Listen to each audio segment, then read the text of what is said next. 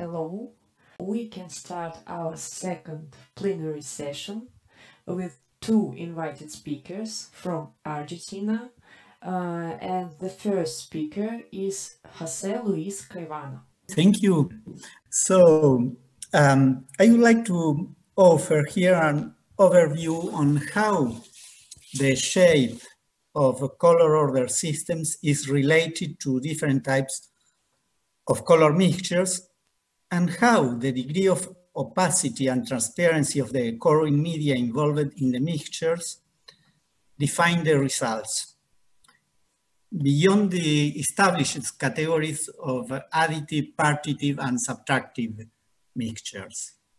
The underlying idea here is uh, that these uh, processes are of a gradualist uh, nature and could be better understood as a continuum rather than being classified as separate categories. Let's start by defining some basic aspects. From this image, we can take the characteristics represented in the rectangles and everybody will agree on saying that they are different colors.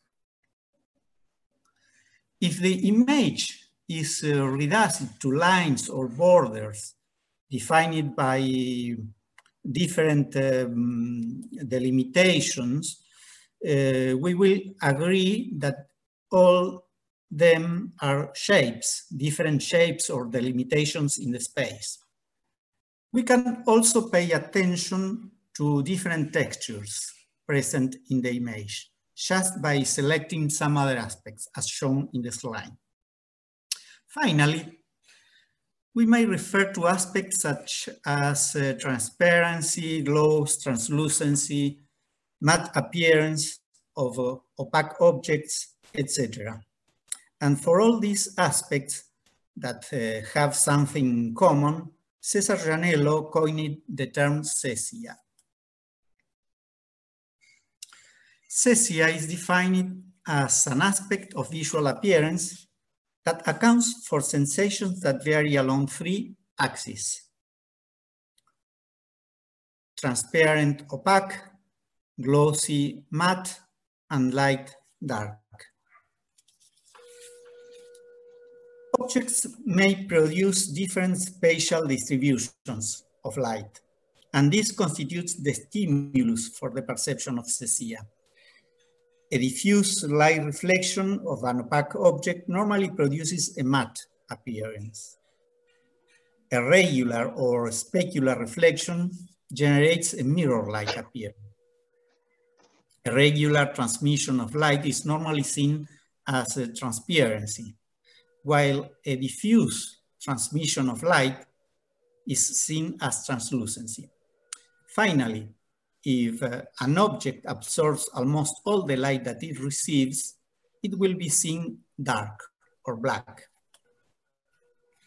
Such as there are color atlases with physical samples, we have also the possibility to assemble an atlas of cesias. In this example, it is made with pieces of glass that change in diffusivity from mirror to matte with intermediate steps of gloss and a variation in darkness towards black. Of course, all the samples here in this image are opaque. And different plates of the atlas, each plate showing changes in diffusivity and darkness, show in turn the variation along the opaque versus transparent axis.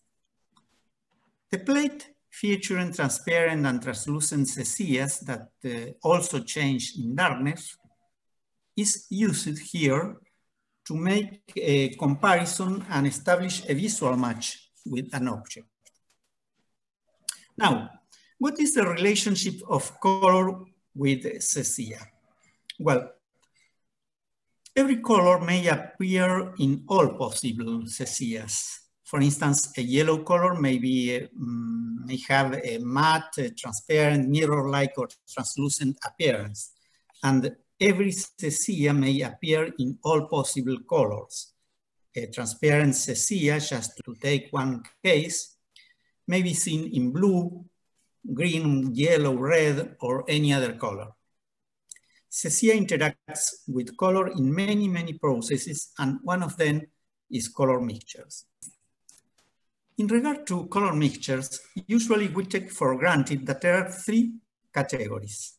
Additive mixing, the sum of colored light projected on a surface, yields uh, colors that are lighter than the original colors. For example, in the additive mixture of red, green, and blue, magenta is lighter than blue and red, yellow is lighter than red and green, cyan is lighter than green and blue, and finally white is uh, lighter than all of them. Subtractive mixture produces colors that are darker than the original colors. For example, in the typical subtractive mixture of yellow, magenta, and cyan, red is darker than yellow and magenta, blue is darker than magenta and cyan, green is darker than cyan and yellow, and finally, black is darker than all of them. This kind of mixture could be made with inks, paints, or overlapping thin layers that uh, work as filters and selectively absorb some spectral components of the light that is reflected or transmitted towards the observer. The case I'm going to show here is different. We perceive a uniform gray field on the background, but if we enlarge a small sector, we can see that it is composed of adjacent yellow and blue small dots or squares. This example is similar to the pointillist or divisionist technique of painting. Partitive or optical color mixing produces a color whose lightness is a kind of uh, average of the original colors. For example, this optical mixture of yellow and blue generates a gray color that is lighter than blue, but darker than yellow. This kind of color mixture can be made also with spinning discs. A blue and a yellow sector on a disc produce a grayish color when the disc is spun very fast.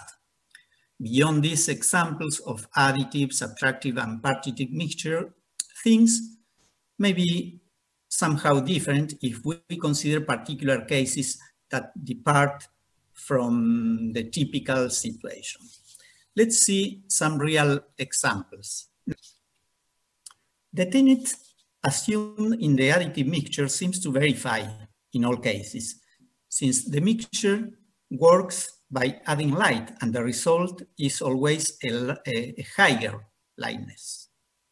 A yellow with 70% lightness plus a blue with 30% lightness gives uh, white, ideally with uh, 100% lightness.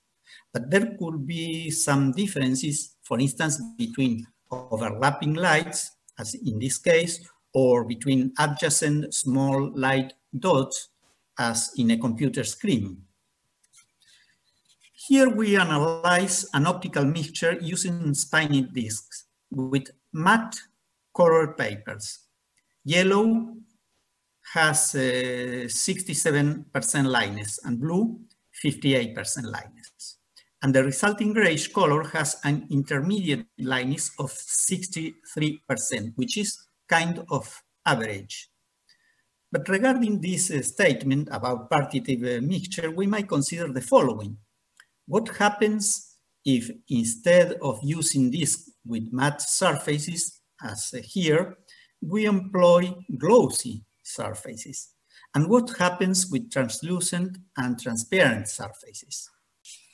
Another case, the trichrome process of printing with transparent inks, yellow, magenta, and cyan, produce a mixture that is halfway between partitive and subtractive. In this detail, we can see that the, where the dots overlap, the result is a darker color, that is to say, a subtractive mixture. But where the dots are adjacent or separate, they will produce an intermediate color, which is a partitive mixture when they are seen at distance. For pigmentary mixing, there are cases in which the subtractive rule is not fulfilled. These are yellow and blue opaque pigments diluted in water. At the center, they mix in green, but this color is not darker. Instead, it has an intermediate lightness between yellow and blue, as we can see in the diagram with the numerical values below. Thus, it must be regarded as a partitive mixture, not a truly subtractive one. Opacity, one aspect of uh, cesia, is the key aspect here. The degree of opacity of uh, paints, for instance, is measured by extending thin layers on black and white contrasting pattern. In this scale of cesia, we can see the variable that changes along the axis going from transparent to opaque. On the left, a transparent layer of uh, varnish allows to see very, very clear the black and white pattern behind. The varnish is gradually mixed with black opaque paint and the scale increases in darkness with decreasing degrees of transparency. Another possibility is to gradually mix the transparent varnish with a white opaque paint. And in this way, the scale increases in opacity towards the right end, passing through intermediate translucent steps, but keeping the maximum lightness or darkness zero. The same hap happens here, where clear water is gradually mixed with opaque milk. Here, the same blue and yellow pigments of the previous uh, slide, instead of being diluted in water, are mixed in past with very, very little content of water. Again, the resulting green color is intermediate in lightness, following the rule of partitive mixture. The conclusion is that pigmentary mixture, mixture should not be taken as a synonym of subtractive mixture. This is more, more evident when we mix the same pigments in powder form, not using water at all, here, it is clear that the green color is the result of a partitive mixture, where the blue and yellow small particles do not mix intimately, but remain separate, adjacent to each other. When transparent layers overlap, the result is certainly a subtractive mixture. That is to say, the green color produced is darker than both yellow and cyan, as we can see in the numerical diagram below, with the lightness indicated. But uh, if instead of uh, superimposing layers of perfectly transparent color films, they are somehow translucent, the result approximates a partitive mixture. Note that the green color in the middle is still a little bit darker, but it's closer in lightness to the cyan layer. With an increasing degree of uh, translucency, we will obtain a lighter green color that will stand intermediate between yellow and cyan. In uh, 1852, Helmholtz discussed in detail the results of using different procedures to mix colors. One of them is mixing spectral lights. He selects red, green, and violet and obtains white by, by mixing all three. Then he reports what happens with material substances, either transparent dyes, more translucent paints, and pigments in powder form. Finally, he mentions the spinning discs with radial sectors of colored papers, and also an arrangement with a glass and two different color papers, one that is seen by reflection and the other by transmission. Harald Küppers is aware of these aspects when he develops his laws of color synthesis. Additive synthesis, for example, color television. Subtractive synthesis, for example, color photography. Layers of translucent and opaque color, that is, paints applied in overlapping layers. Integrated mixture, opaque paints mixed, mixed with uh, each other and then applied in a single layer, optical mixture, small color dots that cannot be perceived individually and are integrated, rapid mixture, color stimuli at very short time intervals. Küppers asserts that there are at least 11, 11 laws of color mixture, not just three, 11. What happens with color order systems in this context? In most cases, the shapes of color order systems are connected to the type of color mixtures that they represent. The difference between additive and subtractive mixture began to be understood just during the 19th century, after Helmholtz, Grassmann, Maxwell, and others. In 1852, Helmholtz described his experiments on mixing colors by using lights or pigments, emphasizing the different result in both cases. This will be further developed in his treatise on physiological optics, where Helmholtz already uses the words addition and subtraction to differentiate the processes. Once uh, this difference was clear, the systems representing light mixtures and those that respond to pigmentary mixtures started to adopt different shapes. Conical shapes for the former, typically with one vertex where black is located, and approximate double cones or spherical shapes with two poles for white and black for the second ones. There are, however, some cases which are difficult to classify. For instance, Ostwald double cone. Let's go back to Maxwell and Helmholtz for a while in relation to Ostwald. One of the methods for mixing color used by Maxwell and employed also by Helmholtz, in addition to other methods, was the device of spinning discs with colored papers in radial, radial sectors. The same device we have seen as an example of partitive mixture. Ostwald used the same method, spinning discs with three radial sectors, black, white, and a pure, pure hue or full color. By this way, and following psychophysical scales, he calculated and obtained the intermediate colors in each monochromatic triangle around the cycle of hues. At that time, this uh, method was regarded as a way of producing additive mixtures. The category of partitive mixture was not yet established. Later in the 28th century, this method will be said to produce a partitive mixture, also called optical mixture, not, not a truly additive one.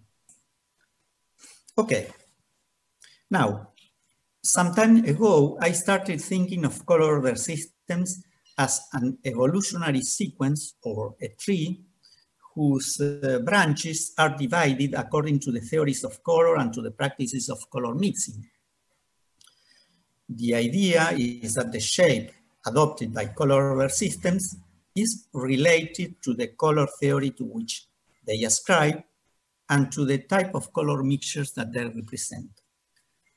There are systems based on the trichromatic theory and the principle of additivity devised to predict mixtures of color lights. They are useful for colorimetry, color reproduction in TV and screens, and uh, lighting technology in general. Other systems are intended to explain pigmentary mixtures. And they are mainly based on subtractive principles. They are useful in painting, graphic industry, design, architecture, etc. However, some models exhibit a certain ambiguity. They could be regarded as somehow hybrid systems or intermediate steps representing other cases of color mixtures, since uh, sometimes it is difficult to draw a clear separation between additive, partitive, and subtractive mixture. A separate mention deserves the natural color system based on Hering's theory of opponent colors, whose uh, purpose is not to represent color mixtures of any kind. It takes just color as a visual sensation, no matter how is it produced or what kind of mixtures are needed. Anyway, if we focus just on the relationship of color order systems with color mixtures, here are three basic cases. First, trichromatic red, green, and blue uh, lights mix additively in white at the, at the base of the conic shape. Lightness decreases toward blacks, which is placed at the vertex. Second place, opaque pigments displayed around a tilted hue circle with yellow closer to white and violet closer to black mix in middle gray, which is located midway along the achromatic axis in an approximate spherical shape that is uh, usually irregular. And third, trichromatic pigmentary primaries, cyan, magenta, and yellow, working as ideal transparent subtractive filters, mixed in black. And white is located here outside these surfaces where the subtractive pigments have no influence at all.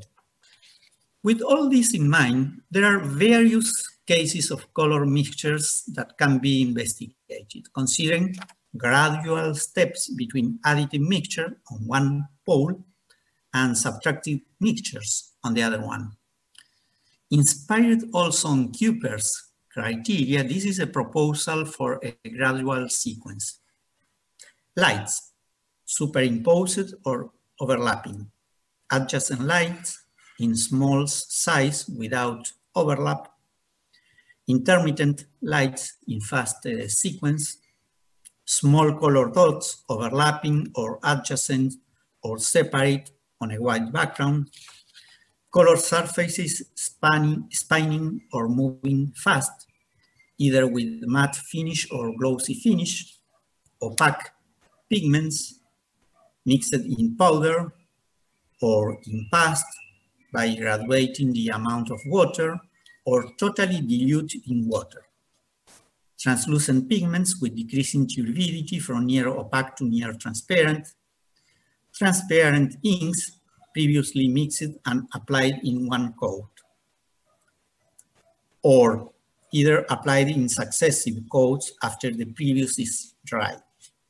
It is necessary to verify these things exper experimentally, considering that the degree of transparency, translucency, or opacity of the material, as well as the degree of gloss or matte finish of the surfaces, will have a great influence on the processes and the results. That's why cesia is important here. And instead of three separate or unconnected types of color mixtures, we can postulate a model based upon this gradual sequence between additive and subtractive mixture with a partitive mixture as one of the steps in between. And thus, a schematic three-dimensional model of gradual transformation can be proposed to encompass different color systems that represent any possible mixture between additive and subtractive. at one extreme, the mixture of three color lights, usually red, green, and blue, gives white as a result. In the middle, an optical mixing of uh, primary colors result in a middle gray. At the other extreme, the subtracting mixture of transparent inks acting as layers that absorb light as they are used in color printing, for instance, yields a very dark gray, almost black as a result. The base or the middle surfaces of these models may consist of triangles or color circles divided according to the number of primary or principal colors considered. And uh, this uh, surface gradually moves down from white to black along the achromatic scale. Finally, this is uh, just a proposal, a scheme, or a hypothesis that needs uh, further elaboration and experimental work. But uh, anyway, I am convinced that this uh, gradualist approach could be a way to advance our knowledge not only about uh, color systems, but also color theory in general, if this uh, idea is applied to different aspects of color research. So thanks, that's, that's all. Thank you. Thank you, Jose. It was interesting, visual, and uh, informative.